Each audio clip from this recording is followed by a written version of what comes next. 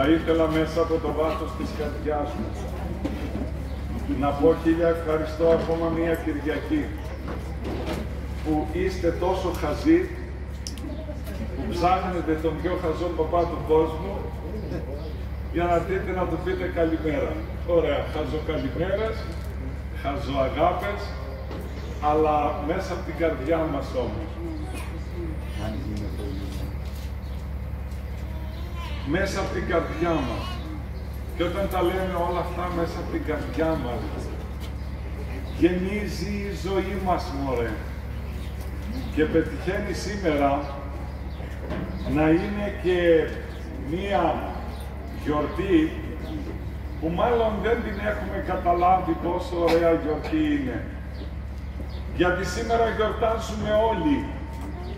Είναι, λέει, η γιορτή των Αγίων πάντων. Όλοι οι Άγιοι μας μαζεύονται σήμερα και τους γιορτάζει η Εκκλησία μας. Γιορτάζει αυτούς που τους ξέρει με τα ονόματά τους και είναι κάμποσες χιλιάδες αυτοί όλοι. Γιορτάζουν όμως και όλοι αυτοί οι οποίοι μείνανε στην αφάνεια. Μου έλεγε πριν λίγες μέρες ένας μοναχός από το Άγιον Όρος, τι υπέροχο γεροντάκι, μιλήσαμε πολλές ώρες και μου λέει, μιλούσαμε για τους σύγχρονους Αγίους, τον κύριο Παΐσιο, τον κύριο Πορφύριο και λέει, αν μωρέ βγάζαμε μόνον από το Άγιον Όρος έναν έναν τους Αγίους, θα γεμίζαμε όχι αυτά τα αγιολόγια που έχουμε τώρα γεμάτα, τόσα κι άλλα τόσα κι άλλα τόσα κι άλλα τόσα κι άλλα τόσα. Αλλά πολλούς Αγίους τους βγάζει και τους αφήνει στην αφάνεια ο Θεός. Γιατί είχαν τόση πολύ ταπείνωση που οι ίδιοι παλεύουν με το Θεό να μείνουν κρυφοί και, κρυ... και, και κρυμμένοι. Δεν θέλουν να εμφανιστούν πουθενά. Γι' αυτό και υπήρχαν Άγιοι που διέταξαν τα πνευματικά τους παιδιά πριν φύγουν από τη ζωή να κρύψουν το σκήνομά τους, να κρύψουν τον τάφο τους, να κρύψουν τα Άγια Λείψανά τους. Ένας από αυτούς τους τελευταίους είναι και ο Άγιος Πορφύριος, που δεν ξέρουμε που είναι ο τάφος του. Δεν ξέρουμε που τον πήγαν, που ζήτησε ο ίδιος να πάει να κρυφτεί. Μια άλλη τέτοια ιστορία και θα σας δώσω μια εικονίτσα στο τέλος σε όλους. Ήταν η Αγία Ακυλίνα. Η Αγία Ακυλίνα και οι άλλες δυο Αγίες, η Αγία Χάιδο και η Αγία Κυράνα, είναι από τα χωριά εδώ της περιοχής. Από το Στανό η Αγία Χάιδο, λίγο πιο πέρα είναι προς την Αρνέα, από το Ζαγκλιβέρι που είναι 5 χιλιόμετρα από εδώ η Αγία Ακυλίνα και από την Όσα η Αγία Κυράνα. Όταν λέει η Αγία Ακυλίνα ήταν κοριτσάκι και ήταν φαίνεται και όμορφο κοριτσάκι, την ερωτεύτηκε ο αγάς της περιοχής. Άρχοντας ο αγάς, πλούσιος ο αγάς, την ερωτεύτηκε ο γιος του και ήθελε πάση θυσία να την κάνει γυναίκα του. Έλα μου όμως που για να την παντρευτεί ο γιος του Αγά θα έπρεπε, θα έπρεπε οπωσδήποτε να γίνει μουσουλμάνα. Ο πατέρας έτρεξε κατευθείαν και έγινε μουσουλμάνος. Εγώ λέει ναι, ναι, ναι, πλούσιος θα γίνω, φίλος του Άρχοντα θα γίνω, σόι του Άρχοντα, τι ωραία, τι ωραία, τι ωραία, τι ωραία. Και όχι μόνο έγινε ο ίδιος μουσουλμάνος. Πίεζε και πάλευε να κάνει και τη μικρή Ακυλίνα που ήταν, δεν ήταν τότε 19 χρονών. Η ίδια όμως με τη βοήθεια της μάνας της και της φίλης της, της Κυράνας, κράτησε μέσα της την πίστη της στο Χριστό. Δεν θα γίνω μουσουλμάνα, δεν θα παντρευτώ τον Αγάν, δεν θέλω πλούτια, δεν θέλω δόξες, δεν θέλω σόγια μεγάλα. Άρα και εμείς, τι θα λέγαμε μωρέ αν ήταν σόι μεγάλο, θα κοιτούσαμε την πίστη, θα κοιτούσαμε την αγάπη στον Χριστό ή θα λέγαμε δεν πειράζει Χριστέ μου συγχώρεσέ με, για καλό το κάνω για να ζήσω την οικογένειά μου πλούσια. Και όταν ο πατέρας αγρίεψε κι άλλο λέει θα σε κάνω με το ζόρι μουσουλμάν κι αν δεν δεχτείς θα σε σκοτώσω. Και μάλιστα της λέει, μην νομίζεις ότι θα γλιτώσεις μετά το θάνατο, διότι μετά το θάνατο θα σε κάνω οπωσδήποτε, διότι θα σε πάω στο τουρκικό νεκροταφείο. Τρώμαξε η Αγία. Και λέει στα παλικάρια του χωριού, φίλοι μου καλοί, εάν, εάν, εάν κάνει την απειλή του ο μπαμπάς, εσείς να πάρετε και να κλέψετε το σκήνομα και να με πάτε μία μέρα δρόμο με τα πόδια. Νύχτα θα είναι, μέρα θα είναι να με κρύψετε μακριά σε κάποια εκκλησία κοντά και να με θάψετε εκεί. Την πήγαν, την έφτασαν στην Όση. Εκεί λοιπόν έμεινε το σκήνομα, ορκίστηκαν τα παλικάρια, να μην ασχοληθεί κανένας με το που βρίσκεται ο τάφος και να μην πούν σε κανέναν. Όντως οι όρκοι τηρήθηκαν, τα χρόνια πέρασαν, ο τάφος έμεινε κρυμμένος. Και ψάχναμε όλες τις μέρες μας, πού είναι αυτός ο τάφος; Έχουμε μια Αγία και δεν έχουμε τα λείψανά της. Είναι δυνατόν μωρέ να μην έχουμε τα λείψανά της. Και τότε, τότε, τι έγινε εκεί και βρήκαμε το, το Άγιο Λείψανο; Ρίχνει ένα χιόνι και πάει ο παπάς να δει την εκκλησία και βλέπει σε δύο σημεία, δύο ορθογόνια να μην έχει καθόλου χιόνι. Ξαφνιάζεται ο Παπακώστας. Τι είναι αυτό λέει τώρα, εδώ. Αφήνει όμως το μυαλό του, δεν λέει τίποτα. Σε λίγες μέρες ξαναρίχνει περισσότερο χιόνι, περισσότερο πάγο. Και πάει με απεριέργεια ο παππούλης θα δω πάλι τι γίνεται. Και μόλις ξαναπήγε την άλλη την ίδια μέρα, τη δεύτερη φορά, βλέπει όντως γύρω-γύρω πάνω από μια πιθαμή χιόνι παγωμένο και εκεί δεν έχει τίποτε. Και τότε σκέφτηκε να, να οριοθετήσω το σημείο να μην μπερδευτώ όταν θα λιώσει το χιόνι. Και σπάει κλαδάκια από το δέντρο να μπήξει στις άκρες τέσσερις και τέσσερις οχτώ γωνίες. Στην τελευταία γωνία σπάει το κλαδάκι, γλιστράει ο παππούλης, ακουμπάει στο χώμα και το χώμα, το χώμα, το χώμα έκαιγε. Πω πω λέει, έκαιγε το χώμα.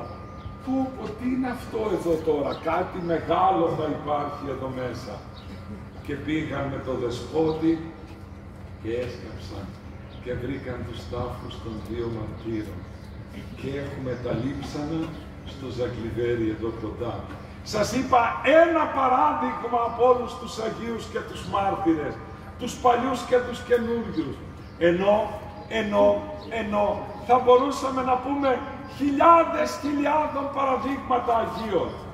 Και αν με ρωτήσετε τώρα αυτήν την ερώτηση Θέλω να σας την κάνω εγώ τότε, αφού δεν μου την κάνετε εσείς. Παπά μου, μόνο παλιά είχε Αγίους. Όχι μωρέ, και τώρα έχει Αγίους. Βλέπετε, ο ένας μετά τον άλλον η Εκκλησία μας τους κάνει τους Αγίους. Με τελευταίο που σε λίγες μέρες θα είναι και επίσημότατα Άγιος, με τη βούλα της Συνόδου από το Πατριαρχείο μας, θα είναι ο Γεροευμένιος ο Σαριδάκης, Αχ μωρέ, αχ μωρέ όσοι, όσοι διηγούνται ιστορίες για αυτόν τον παππούλη. Ήταν παπάς χρόνια ολόκληρα στο Λιμωδόν, στην, στην, στο Εγάλεο, στην Αθήνα. Τότε, τότε, τότε που η λέπρα σάπιζε τον κόσμο. Η λέπρα λέει ήταν πολύ σκληρή αρρώστια. Κολλητική, κολλητικότατη. Κολούσες και άρχισαν τα κομμάτια από τα κρέατα να σαπίζουν και να πέφτουν.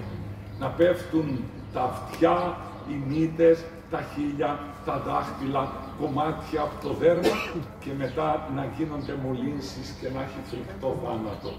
Κολούσε πάρα πολύ ο ένας με τον άλλον, ο ένας με τον άλλον, ο ένας με τον άλλον και τρέχανε και παλεύανε να σωθούν οι άνθρωποι. Τι μωρέ πιστεύετε, μόνο τώρα έχουμε αρρώστιες πολιτικές που μου βγήκαν κάποιοι και φωνάζουν ότι μόνο τώρα φτιάχτηκε αρρώστια κολλητική πάνω στη γη. Πάντα τις είχαμε και πάντα παλεύαμε.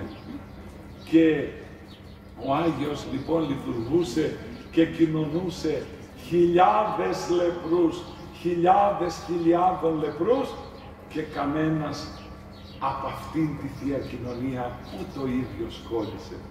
Και έλεγε ο Γεροπαΐσιος για τον, για τον Παπαευμένη το Σαριδάκι, για τον, γερο, για τον γε, γερό Τύχωνα τον πνευματικό, που ήταν αυτοί θα γίνουν τώρα, είναι οι επόμενοι, σας λέω ονόματα. Ο Παπατήχων ο Ρώσος, που έκανε, που έκανε μοναχό και ήταν πνευματικός του Γεροπαΐσιου και του Παπαφώτη του Τρελού. Αυτούς τους τρεις Αγίους να τους βάλετε στην προσευχή σας και ό,τι τους ζητήσετε θα το έχετε. Αυτή έλεγε ο Γεροπαΐσιος, έλεγε ότι έφτασαν εκεί που πάλευε ο Μέγας Αντώνιος στην εποχή μας μωρέ. Ο Παπαφώτης πέρασε αυτά τα σκαλιά εδώ και ερχόταν και λειτουργούσε και χαμπάρι δεν τον πήρατε στο χωριό. Δεν τον πήρατε. Έλαμπε τα βράδια ως Άγιος. Ξυπόλυτος μέρα νύχτα μες στο κρύο, μες στη ζέστη. Δεν φορούσε τίποτα παρά ένα τριμμένο και σκισμένο ράσο. Ούτε παντελόνια, ούτε φανέλες, ούτε παπούτσα, ούτε κάλτσες. Και μια φορά πάει ο Παπαδημήτρης, που είναι το πνευματικό παιδί του, παπάς τώρα ο Παπαδημήτρης, στον τρίγωνα εκεί που είναι ο τάφος του Παπαφώτη. Πάει στο εκκλησάκι που είχαν δίπλα και γιορτάζει μεθαύριο τον Αγίον Αποστόλο πάει να, να κάνουν εσπερινό και βλέπει στην πόρτα νερά. Βλέπει στην πόρτα νερά. Λέει, τι νερά να είναι αυτά. Και όταν πάει πιο μέσα βλέπει το αυλάκι, το νερό να φτάνει στην εικόνα της Παναγίας. Και εκεί στην Παναγία γονατισμένος ο Παπαφώτης να κλαίει, να κλαίει, να κλαίει από χαρά, από συγκίνηση, από αγάπη για το Θεό, από χαρά, από συγκίνηση, από αγάπη για όλους τους ανθρώπους. Η προσευχή του ήταν ατελείωτη και όταν ήθελε να μην τον ενοχλούν, στο εκκλησάκι του, στο μοναστηράκι του που αξιώθηκα να πάω και θα ξαναπάω τώρα και το καλοκαίρι και μια και δυο φορές, αν ξεφεύγω από εδώ να ξέρετε εκεί θα με βρίσκετε, Πήγαινε λοιπόν και χώνονταν σε ένα πιθάρι και κάθονταν εκεί μια, δυο, τρεις, τέσσερις μέρες μέσα στο πιθάρι να μην τον βρίσκει κανένας και προσεύχονταν. Έχουμε λοιπόν και στις μέρες μας τέτοιους Αγίους. Ναι, αλλά η ερώτηση όμως, παπά μου, μόνο καλόγεροι και μόνο παπάδες και μόνο δεσποτάδες και μόνο μάρτυρες είναι οι Άγιοι. Όχι μωρέ, Ποιος το είπε ότι είναι μόνον τέτοιοι Άγιοι; Άγιοι, Άγιοι, Άγιοι είναι και δίπλα μας πολλές φορές. Δίπλα μας, δίπλα μας, δίπλα μας. Βλέπω στην εξομολόγηση κάτι ψυχέ. Ξαναλέω, βλέπω στην εξομολόγηση κάτι ψυχέ. Και η πλάκα είναι, και γι' αυτό γίνονται Άγιοι, ότι οι ίδιοι δεν το ξέρουν πόσο καλοί είναι. Και σκύβω και τους φυλάω τα πόδια. Πάμε μωρέ λοιπόν. Απ' τη μια μεριά να χωνόμαστε κάτω από την ευλογία των Αγίων και απ' την άλλη μεριά να απλώνουμε όλοι εδώ τώρα, εδώ τώρα, εδώ, εδώ, εδώ, εδώ, εδώ, εδώ. Άγιος γίνεται κάποιος εύκολα, πανεύκολα, αρκεί να παραδώσει την καρδιά του στο Χριστό. Τι είπε σήμερα το Ευαγγέλιο μωρέ, πιο ερωτική φράση ψάχνουν τα αγοράκια και τα κοριτσάκια φράσεις έρωτα να ζήσουν, έρωτα να φτιάξουν, έρωτα να πούν. Πιο έρωτας από αυτό που μας είπε ο Χριστός σήμερα δεν υπάρχει. Ο φιλόν λέει αυτός που αγαπάει τη μάνα, τον πατέρα, τους δικούς του ανθρώπους παραπάνω από μένα, δεν μου είναι άξιο, δεν, δεν είναι για μένα. Όχι να μην αγαπάμε, γιατί κάποιος το είδε αυτό και λέει «Α, παπά, το λέει και το Ευαγγέλιο, να μην αγαπάμε τη γυναίκα μας, να μην αγαπάμε τα παιδιά μας, να μην αγαπάμε τους γονείς μας». Όχι μωρέ, δεν είπε αυτό. Ο Χριστός μας είπε «Όποιος αγαπάει παραπάνω από μένα». Για, γιατί, γιατί είναι ερωτευμένος ο Χριστός μαζί μας. Αυτόν τον έρωτα λοιπόν να νιώσουμε κι εμείς με τον Χριστό, να του παραδώσουμε την καρδιά μας, να του παραδώσουμε την ψυχή μας, να του παραδώσουμε και να αφαιθούμε σε αυτό να μας γεμίσει αγάπη, ταπείνωση, υπομονή, αγάπη, ταπείνωση, υπομονή. Υπομονή, αγάπη, ταπείνωση. Και τότε είναι κάποιος Άγιος. Τελειώνω. Κοιτάξτε, πήρα και τις τέντες χτες για να σας τις βάλω να χτες, το, και σας υπόσχομαι, θα πάρω κι άλλες και τις πλήρωσα και από την τσέπη μου. Ό,τι έργα κάνω και κάνω και στο σπίτι να τα ξέρει το χωριό. Όλα είναι πληρωμένα από την τσέπη της παπαδιάς και του παπά. Γιατί θέλω κι εγώ να αφήσω ένα λιθαράκι σε αυτό το χωριό που τόσο πολύ με αγαπάει, τόσο πολύ με νοιάζεται και τόσο πολύ όμορφο περνάω εδώ μαζί σας. Έχουμε σήμερα ένα γκρουπ μεγάλο από την, το πλαγιάρι, τι χαρά, τι, τι, τι, τι, τι με γεμίζετε. Γι' αυτό λοιπόν και τόσους άλλους που έρχεστε από μακριά, τι να πω μωρέ, γιατί το κάνετε αυτό, τρέπομαι. Τρέπομαι ρε μαράκι, τρέπομαι, τρέπομαι, τρέπομαι. Ξεκινάμε τώρα από Αλεξανδρούπολη, από Κιλκής, από Σέρες, από Καβάλ, από Δράμα, από Κομωτινή, από Αθήνα ξεκινάνε και έρχονται. Γιατί μου το κάνετε αυτό; Γιατί μετά κόβω, κόβω, κόβω, κόβω κομμάτια και δεν ξέρω πού θα φτάσω, δεν θα έχω άλλα κομμάτια να κόψω και μετά θα τρέπομαι. Έχουμε σήμερα λοιπόν την, το λείψανο της Αγίας υπομονής, όλοι τη χρειαζόμαστε, για να σας σταυρώσω. Την εικόνα των τριών Αγίων εδώ του τόπου μας, να περάσετε να σας σταυρώσω με αυτή. Και δέστε τώρα μια άλλη πιο μεγάλη ευλογία. Την ερχόμενη Κυριακή το βράδυ θα γιορτάσει η άλλη εκκλησία, είναι Άγιος Αθανάσιος ο Αθωνίτης. Πέντε του μηνός γιορτάζει, εγώ θα την κάνουμε αγρυπνία. 8 με 12. Και δέστε τώρα ευλογία που μας στέλνει ο Άγιος, ο δεύτερος Άγιος του χωριού, εκεί. Θα έχουμε λείψανο του Αγίου Χαραλάμπους. Μέρες δύσκολες, μέρες με αρρώστιες, ο Άγιος Χαράλαμπος ήταν ο Άγιος που κυνηγούσε και έπαβε όλες τις αρρώστιες. Θα το έχουμε λοιπόν, μπορείτε να κοινωνήσετε όλες τις αγρυπνίες και όσοι δεν προλάβετε να πάρετε ευχή, θα διαβάσω εκείνη την ώρα ευχή για να είστε έτοιμοι να κοινωνήσετε.